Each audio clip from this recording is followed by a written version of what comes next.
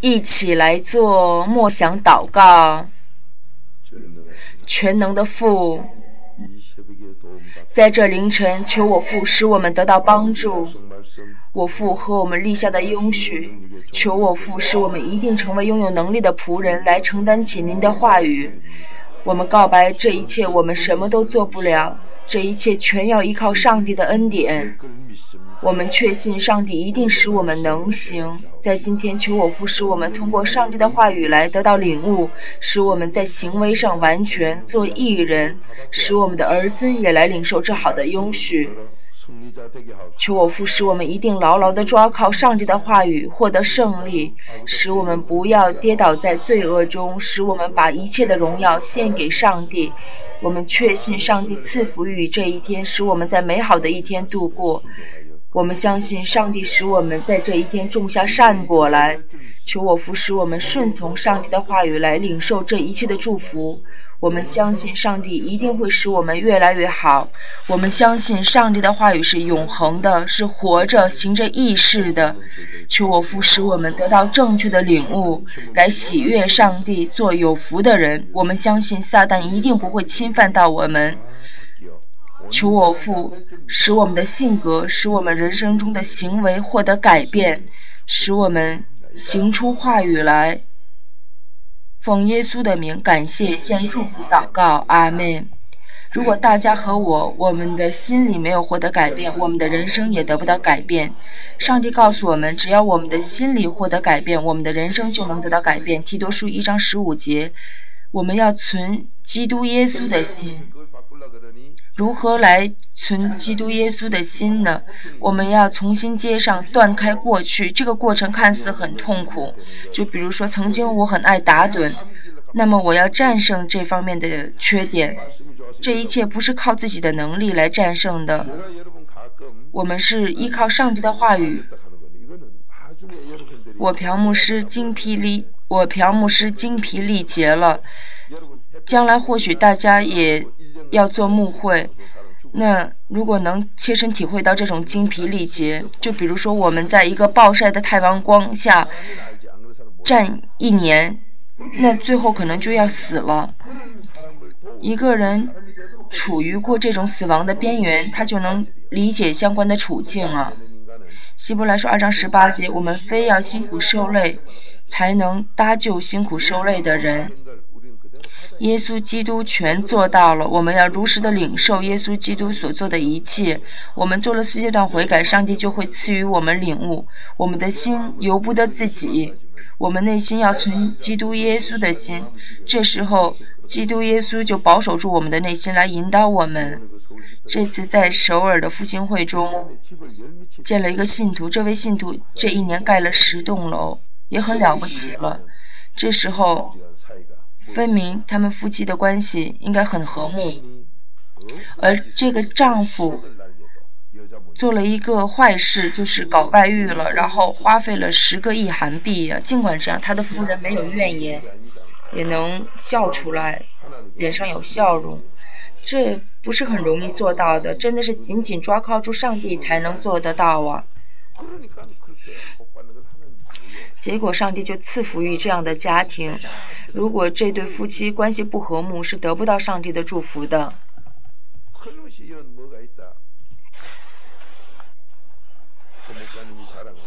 然后，那个教会的牧师就夸口他的信徒，这个信徒一年承接了十个项目，盖了十栋楼。那么，我朴牧师就想看一下这位信徒存了什么样的心呢？这位信徒告白，他他对待每个人都当做自己来对待，而首先我的心里要正直。有些人为什么总不行呢？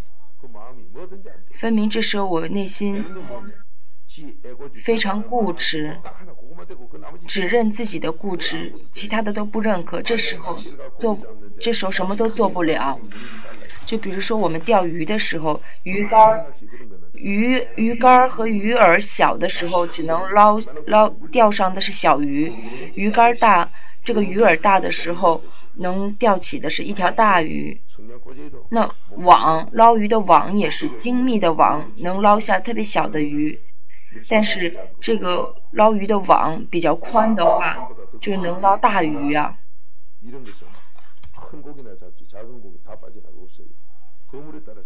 就不同的网能捞捞出不同的鱼来，始终不行的人就非要捆绑在自己的想法里面。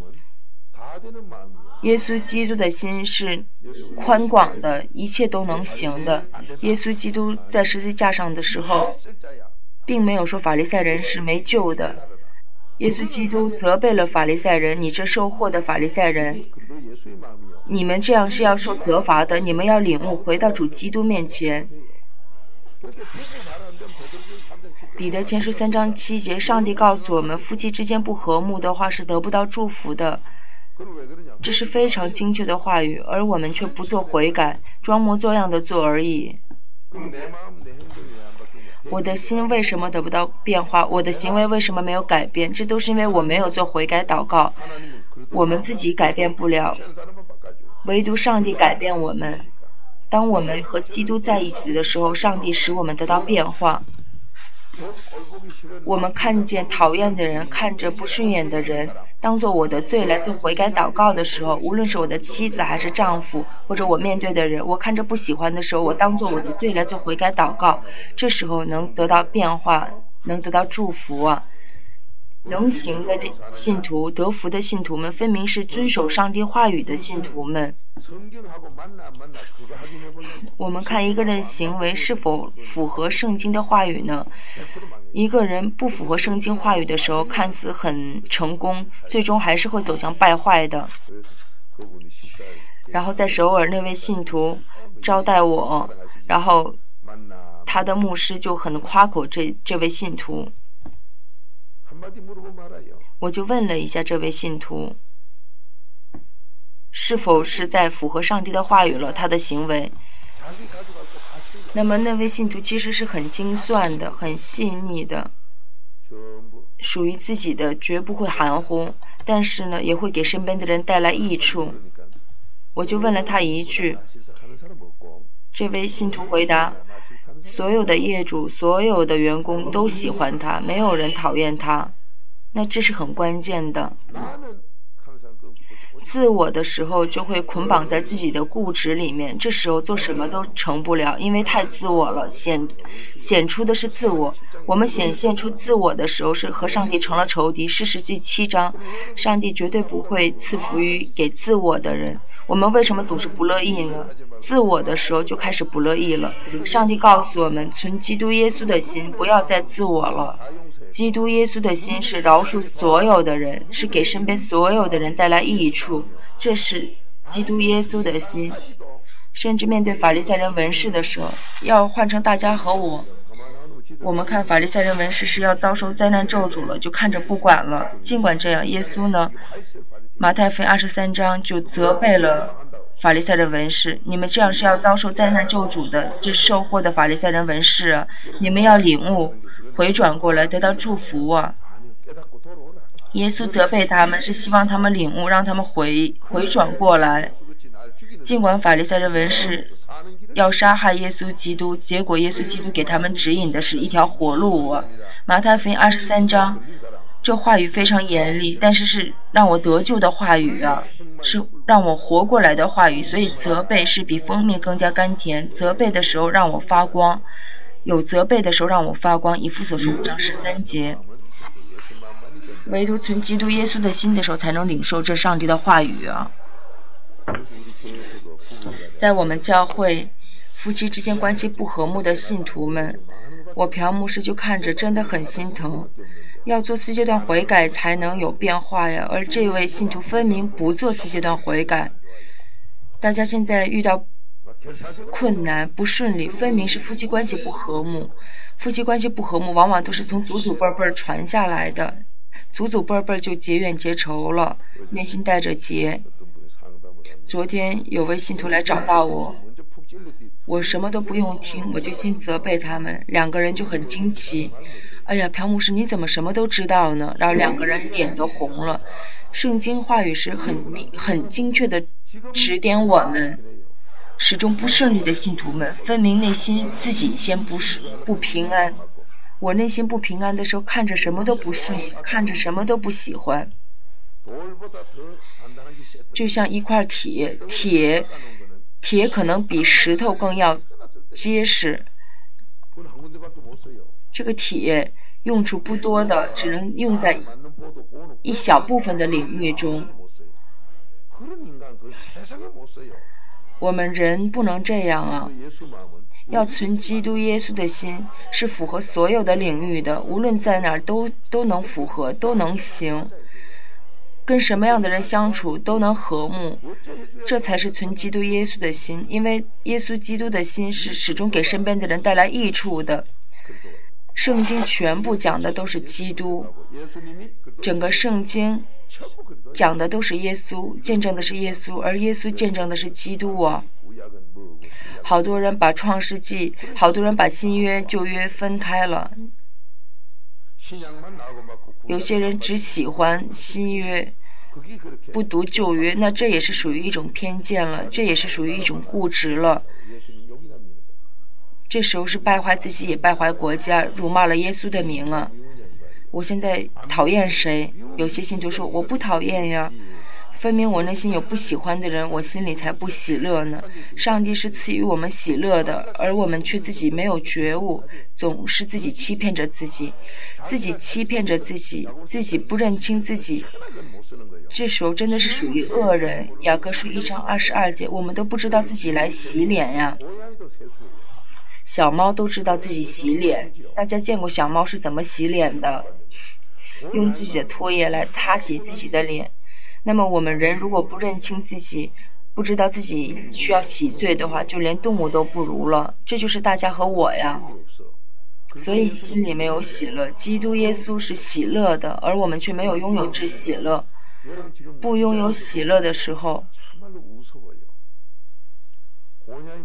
我朴牧师在这里看着大家，真的挺挺心疼的。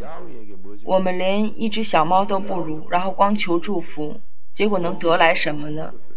小猫就只能有一根鱼刺啊！我们的心，提多书一章十五节，我们内心存什么心，就能如何看待这世界了。有些人说这个不行，那个也不行，结果什么都没有了，只剩下自己了。我们要给身边的人带来益处。我们在这里，比如说给身边的人带来益处。我们面对年长年老的人，那么要符合他的情况；面对年轻人，我们要符合年轻人的情况和处境。上帝的话语是使我们得到变化，是真理的话语。真理的话语使我们成为有福的人，而这真理的话语细微深入到每个人身上的时候，是每符合每一个人的处境的。这正是基督耶稣的信仰。所以，身边的人都会喜欢我们，都希望我们来到自己的身边。而有些人呢，生怕这个人来到我身边。如果别人排斥我的话，赶紧领悟。哎呀，我是不是没有存基督耶稣的心？我内心分明是歪曲了。然后赶紧领悟的话，就能得到祝福啊。不要再责怪别人是坏人，你先做悔改祷告，你先得到变化，就能得到祝福。就比如说空气，大家知道空气，这个煤气或者是一氧化氮是会让人死的，吸收了就会让人死，所以们不喜欢。就肉眼看不到，确实是一种让人致死的一种的。一氧化氮或者是煤气，但是氧气吸收氧气人人都喜欢，因为吸收氧气不吸收氧气会死的。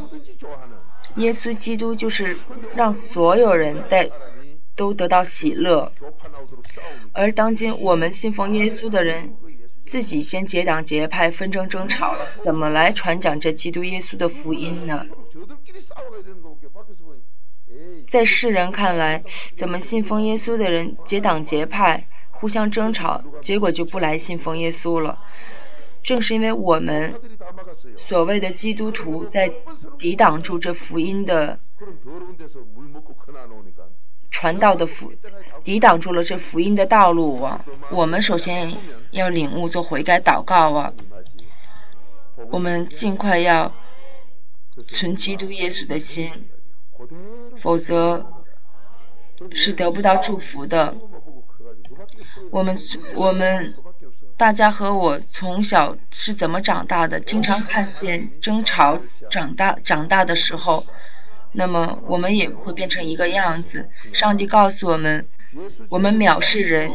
藐视了人，就跟藐视上帝是一样的。箴言是七章五节。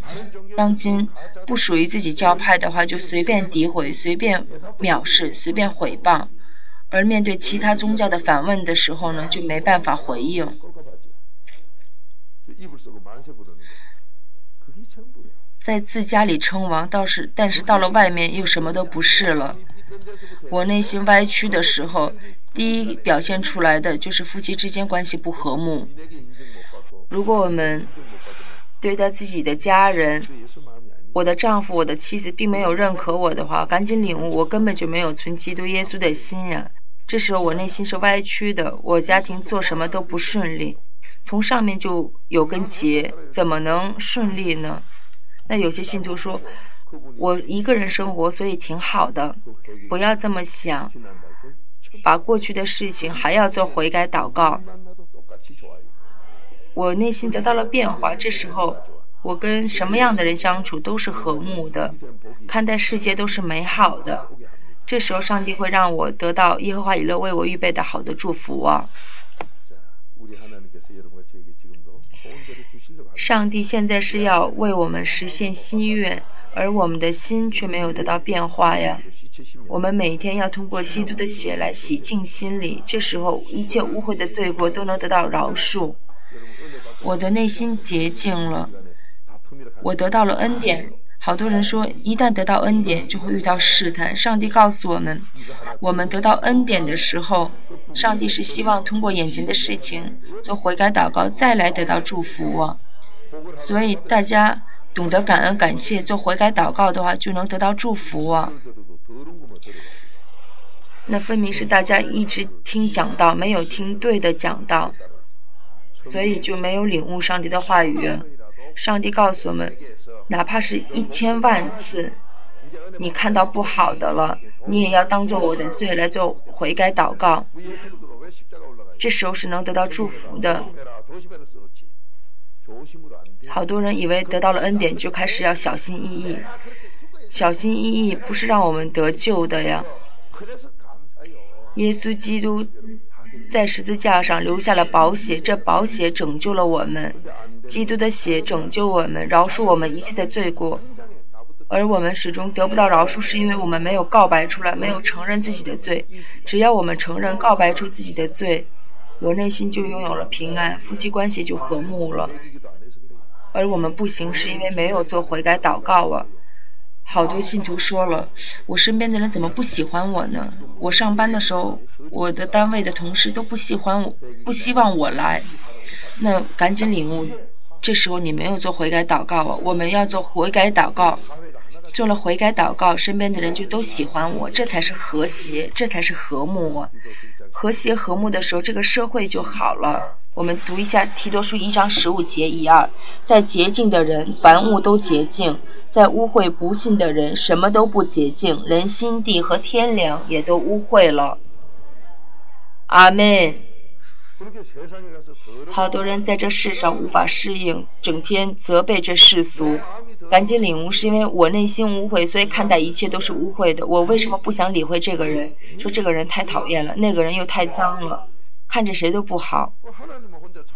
而上帝说，创造了这世界之后，上帝看待一切都是美好的。我内心存基督耶稣的心，我看待一切都是美好的，看待一切都是美好的，这才是基督耶稣的心。我们看这个也不行，那个也不行，结果什么都没有了，只剩下自己呀。那么，那么我看待一切都是美好的。但是呢，什么是真实的好呢？如果是真实的好，我就能讲劝勉，讲出真实的话。你要需要改正哪部分？像圣经里耶稣责备法利赛人文士一样，因为我们领悟变化了，有变化了，就能得祝福了。而我们内心有贪婪的时候，内心贪婪的时候就不脱离自己的旧习惯。我们内心没有贪婪，我们就会存要我怎样才能给他带来帮助呢？而我内心带来，我内心有贪婪的时候，就整天求的是自己的利益。我内心有贪婪的时候，就总会有抱怨、发怨言。夫妻之间为什么总会有争吵纷争？是因为没有满足自己的贪婪。我们夫妻之间别别扭扭，都是因为内心带着贪婪。我内心存基督耶稣的心的时候，我内心是想，我怎样才能帮到他呢？我怎样才能帮助到对方呢？这时候夫妻之间，哪怕对方放了一个屁，我都觉得是香的。大家知道。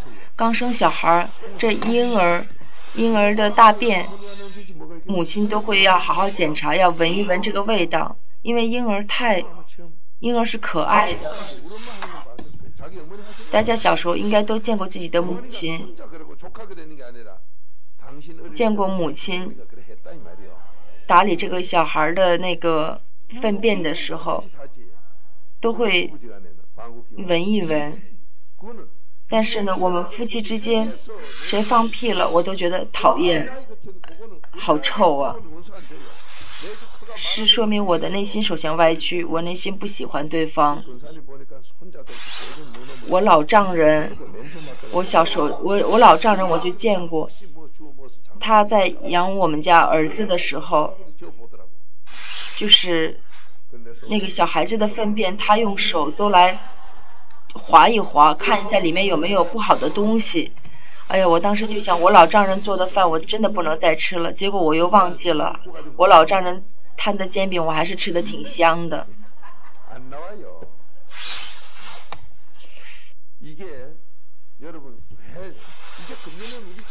我们今年开始一定要得到祝福。那么，首先夫妻关系要和睦，才能得到祝福。从基督耶稣的心，夫妻关系就和睦了。夫妻关系和睦了，我在外面做事、做工作，一切就顺利。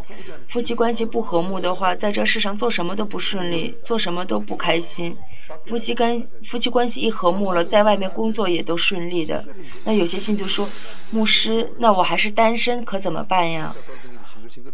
这个英文的 single。就跟那个韩语的谐音 “singer singer” 就是笑乐乐、喜乐乐是一个谐音。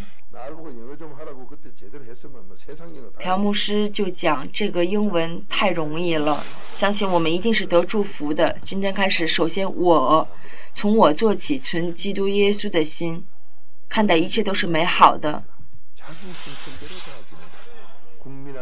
比如说，我们面对一个一年级的学生，就要帮到一年级的学生；面对六年级的学生，就要像六年级的学生一样帮到他。面对每个人的处境都是不同的，唯独存基督耶稣的心，才能正确的帮到身边的人。我们要存基督的心，这基督的心是洁净的，基督耶稣的心一定是洁净的。唯独基督耶稣是洁净的，所以我们一定要做悔改祷告。只要做悔改祷告，一定是能行的。在今年，我们一定要得到胜利呀！结果出了门又忘了，说：“哎呀，这个不行。”你一旦说不行，别人就不再问你了。你已经说不行了，就没办法再讲下去了。有些人，比如说接一个生意、接一个单子的时候。就比如说，盖一个房子需要一千万的预算，但是这个人只有一百万，但是有个有些人虽然只有一百万，也想盖一个一千万的房子，那这时候来咨询，你你一旦说不行，那对方就没办法再跟你询问下去了。你首先告诉他这也能行，这分明不行，怎么能行呢？您告诉他能行，但是呢，实际情况是这样的，您需要要么加一点费用。或者是要么就不要盖这么预算这么好的房子，这时候就能谈一谈一笔生意了。你你一开始说什么都不行，那对方就没办法再跟你继续谈下去了。这位信徒一年承接了十个工程，那说明对一切都是存开放的心理啊，这一切都是能行的。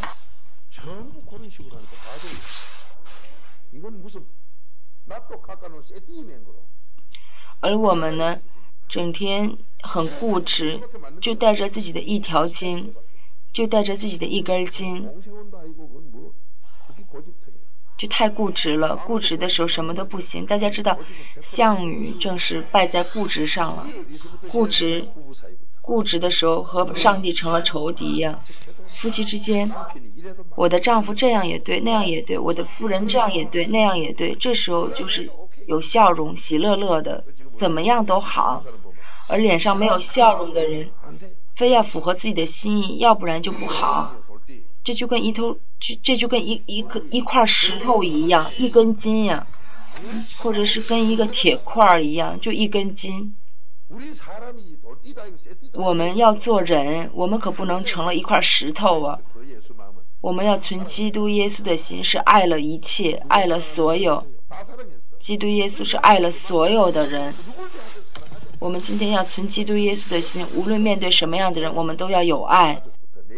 这首先是从我做起，从家人开始，对待家人开始，这时候才能成功啊。那有些信徒说：“牧师，我尽管这样做了，身边的人还不喜欢我，那您来找我吧，我一定会正确的指引你，告诉你哪方哪方面错了。”我们分明有格格不入的地方，那么就来修剪一下。基督耶稣的心是存，基督耶稣的心是符合一切的。我们告白一下吧，一切都是能行的，一定能行的，一定能行的。大家知道，曾经在一场大的战争，苏联，苏联赢了这场战争，而。这苏联的这位总统他怎么讲的？苏联所有的女性，我都看看作是我的妻子。如果这位总统是依靠信仰来讲了这句话，那么这句话的含义太深了，是依靠基督的爱呀。如果没有依靠基督的爱，那就是作秀而已了。只有上帝知道他是存什么样的心的。我们要存基督耶稣的心来面对世界，看待世界，一切都是美好的。这时候一定能成功。我们一起来祷告吧。全能的父，求我父使我们存基督耶稣的心。只要我内心洁净了，这时候夫妻关系也和睦洁净。夫妻关系和睦了，这时候面对世界，一切都是美好的。在这世上。人们虽然是污秽的，却追求的是洁净的。求我父使我们做光，把我们的洁净照在人前，使身边的人都喜欢我们，使身边的人都来找到我们，使我们能够帮助到身边的人。这正是使我们存基督耶稣的心。求我父使我们存基督耶稣的心。将一切的荣耀献给上帝，使我们内心拥有幸福、过满足的生活。从今天开始，求求我父使我们存基督耶稣的心，来获得胜利。奉耶稣的名，感谢，献祝福祷告，阿门。